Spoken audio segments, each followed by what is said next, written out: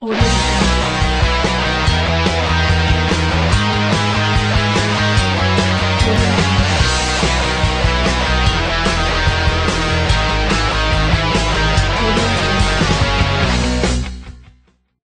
con il primo acquisto dell'Atletico Casalnuovo di dicembre, Carlo Minauda. Carlo, benvenuto a Casalnuovo, hai giocato nella eh, prima parte di questa stagione alla Putelana, adesso con quale spirito arrivi qui a Casalnuovo? Allora, innanzitutto ringrazio la società di Pozzuoli che mi ha dato tanto e io ho dato tanto. Purtroppo si è chiuso il rapporto, ora ringrazio tutti gli amici che stanno là.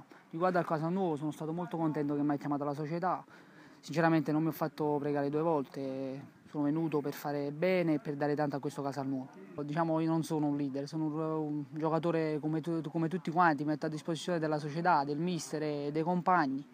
Per me il leader, ripeto, è Marco, che è un giocatore molto di esperienza, un grande mio amico e spero di dargli una mano a lui a fare, fare qualche gol.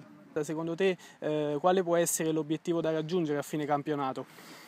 Io penso che la cosa più importante adesso è fare i sacrifici. Il mister eh, ho avuto, ho avuto già il piacere di conoscerlo, è un ottimo allenatore, poi saranno i sacrifici e poi saranno i risultati a vedere dove possiamo arrivare. Io spero più lontano possibile, mi auguro questo.